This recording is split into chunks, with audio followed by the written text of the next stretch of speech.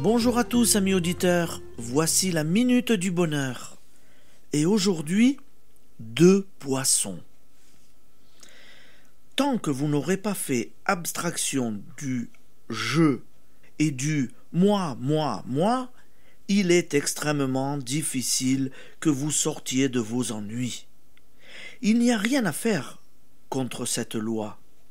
Il faut s'oublier pour trouver et donner pour recevoir. Il est dans l'Évangile une admirable illustration de cette vérité. Il s'agit d'un personnage qu'on ne cite qu'une fois. C'est le jeune garçon de la multiplication des pains. Cinq mille personnes n'avaient rien à manger. Il y a bien ici, dit l'un des disciples, un jeune garçon qui a cinq pains et deux poissons. Mais qu'est-ce que cela pourtant le monde? Jésus dit Faites-leur prendre place.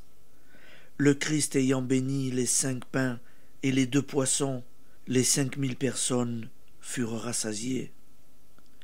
La prudence humaine eût voulu que le jeune homme se réservât sa petite provision, objectant ainsi que l'avait fait le disciple.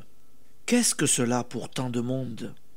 Alors qu'en la gardant pour lui et les siens, quelques-uns eussent au moins été nourris. Mais il est si volontairement oublié, il a donné et il a trouvé. Il a reçu non seulement lui, mais tous les cinq mille ont reçu. Ce qu'il faut considérer, c'est que, sans cet acte de détachement de la part d'un seul, l'un des plus beaux miracles du Nouveau Testament n'aurait pas eu lieu. La puissance divine aurait pu l'accomplir sans lui.